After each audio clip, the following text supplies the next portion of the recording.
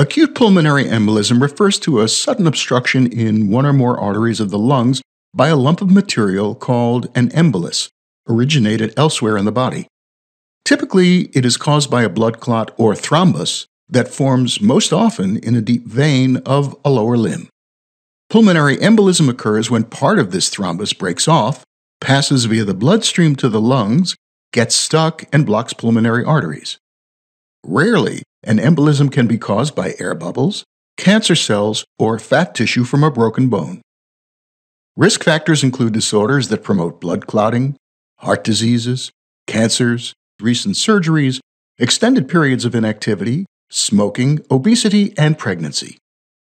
Common warning signs include sudden shortness of breath, sharp chest pain that intensifies when breathing in, coughing, possibly with blood, and fainting. Pulmonary embolism often occurs at multiple sites and involves both lungs at once. The lower lobes of the lungs are more commonly affected.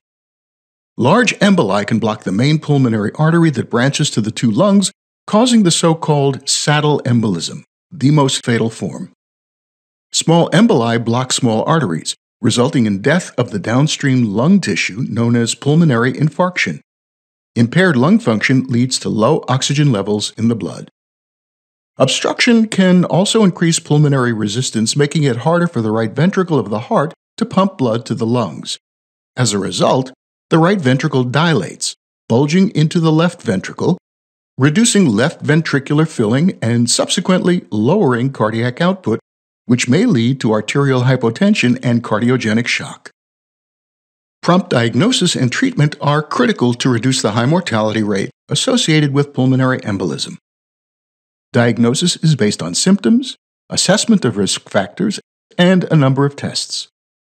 Blood tests usually include arterial blood gas, which measures blood oxygen and carbon dioxide level for presence of hypoxemia, and D dimer, which measures the level of a byproduct of blood clot dissolution. A normal D dimer value signifies a very low possibility of pulmonary embolism, but an abnormally high D dimer level is not enough to confirm the condition. Imaging options include chest x ray, which is usually normal in pulmonary embolism, a chest x ray is performed to rule out other lung conditions that may produce similar symptoms.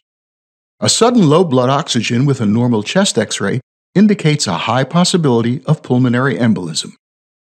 CT pulmonary angiography, which allows visualization of pulmonary arteries, and ventilation perfusion scan, which maps blood flow against airflow, are the tests of choice for diagnosis. MRI and compression ultrasonography are less sensitive and typically used when radiation must be avoided.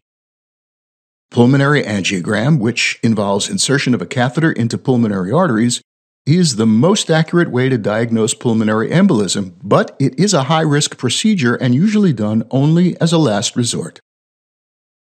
Treatment typically includes prompt supportive measures and anticoagulation to prevent new blood clotting.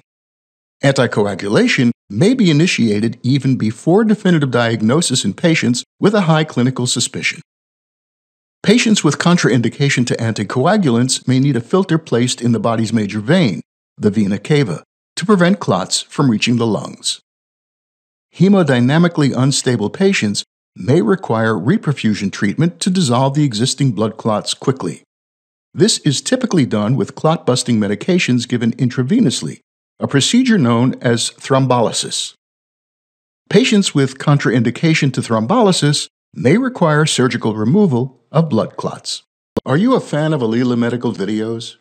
If so, you will love our new Alila Academy. Based entirely on our highly effective animated mini lectures, our courses are designed to follow a typical syllabus in each subject. Each topic is extensively illustrated and comes with quizzes to test your understanding, downloadable PDFs for a quick review, as well as images for you to use in school projects or presentations. We are known for producing highly effective animated videos that explain the most difficult concepts in record time. We have no doubt that our courses will be a lifesaver for both students and teachers alike. So do come check them out. Alila Academy. Clear, concise, effective, with extensive visual resource.